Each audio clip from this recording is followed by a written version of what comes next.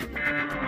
Dalla centrale Luce Verde, in collaborazione con la Regione Lazio e l'ACI, buongiorno e ben ritrovati da Maria Barbara Taormina. In primo piano, servizio rallentato sulla linea metro A nella tratta Anagnina Arco di Travertino per un intervento di manutenzione. Le linee tram 3 e 19 sono interrotte per ingombro di un binario in piazza Ungheria.